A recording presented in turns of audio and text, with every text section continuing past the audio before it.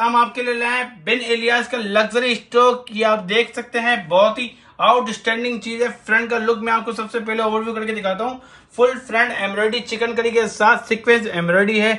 Digital look पे बनाया गया। डिजिटल लुक बहुत ही आउट क्लास है। फैब्रिक क्वालिटी 100 परसेंट ओरिजिनल की फैब्रिक क्वालिटी नब्बे सत्तर एडजेट किनारी पे फ्रंट है इसका।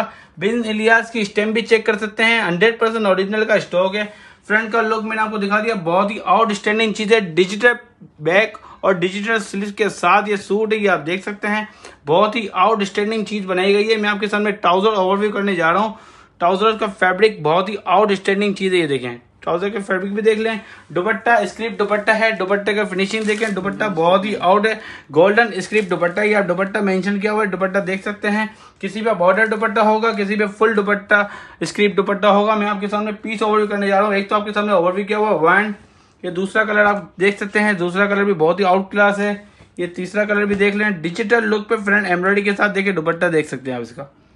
ये देखिए कलर कॉम्बिनेशन बहुत ही आउटस्टैंडिंग है। देखिए कलर बहुत ही आउटस्टैंडिंग है और लिमिटेड सेट अवेलेबल हैं तो काइंडली जिसका भी ऑर्डर है, जल्द से जल्द बता दीजिएगा। असलम वालेकुम अल्लाह हाफिज।